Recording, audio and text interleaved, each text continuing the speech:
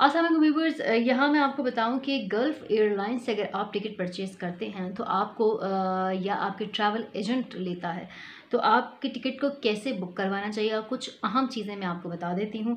वो ये है कि आप जीडीएस से जो उनका रिफ़ंडेबल ऑप्शंस होते हैं फ्लेक्सिबल फेयर जो होते हैं, उससे आप अपना टिकट परचेज़ करें। पहली बात तो ये है, ताकि वो रिफ़ंडेबल हो रिफ़ंडेबल क्लास बहुत से ट्रेवल एजेंट्स को भी नहीं पता होता कि इन टिकट्स को जब आप बुक करवाते हैं तो उसमें डिफरेंट कैटेगरीज़ होती हैं। वहाँ पर आपको जो है, आपने वही टिकट बुक करवानी है जो रिफ़ंडेबल हो। अगर कुछ टिकट्स ऐसी होती हैं जो रिफ़ंडेबल नहीं होती हैं। आप में हर सूरत अवेल करनी होती हैं और अगर आप उनको रिफ़ंड करवाने जाएँगे तो वो नहीं होंगे, आपके टिकट के पैसे ज़ाया हो जाएँगे।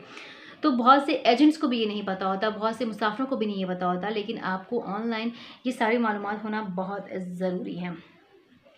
विक्टर लेंथ से आप टिकट करवाएँ जो रिफ़ंडेबल होती है और नॉन रिफ़ंडेबल होती है चार्जेस हर चीज़ उसके ऊपर मेंशन होती है।